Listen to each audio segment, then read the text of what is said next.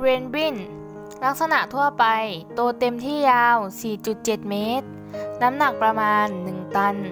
เพศเมียใหญ่กว่าเพศผู้เล็กน้อย ลูกแรกเกิดยาว 2-2.5 เมตร ทรงกระสวยยาว ส่วนหัวมีขนาดเล็ก มีร่องตื้นๆ ใต้คางหนึ่งคู่ ตัวเต็มวัยจะมีงอยปากยาว ขากรรไกรล่างโค้งขึ้น คล้ายซุ้มประตู ในทุกเพศทุกวัย ในเพศผู้ตัวเต็มวัยจะมีขนาดใหญ่ลำตัวสีน้ำตาลหรือน้ำเงินเทา ส่วนท้องมีสีจาง รอบดวงตาเป็นสีดำเข้ม ตัวเต็มวัยมีรอยวงรี หรือวงกลมสีขาวกระจายไปทั่ว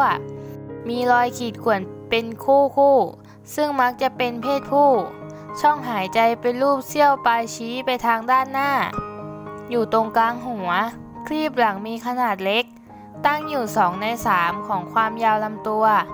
พฤติกรรม ปกติอยู่เพียงลำพังหรือเป็นคู่ แต่อาจรวมฝูง 3-7 ตัว เหมือนกับฮาเลม โดยมีเพศผู้เพียงตัวเดียว และมีเพศเมียหลายตัว